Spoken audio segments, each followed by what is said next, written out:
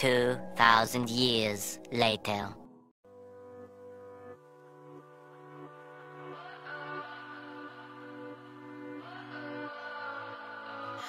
What does perfect even mean? Is there even such a thing? Ooh, ooh. Can we switch up all the rules?